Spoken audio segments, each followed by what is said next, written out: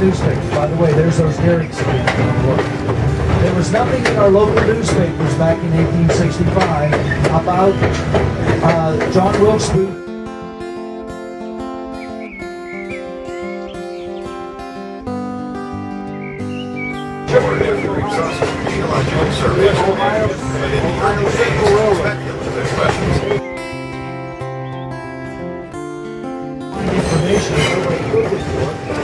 Is the freedom of information.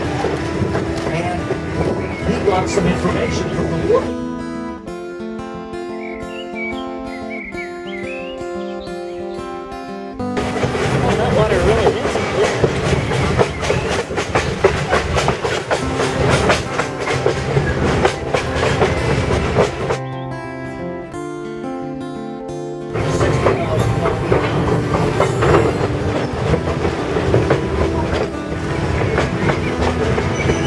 Now, I mentioned that Booth had some interest in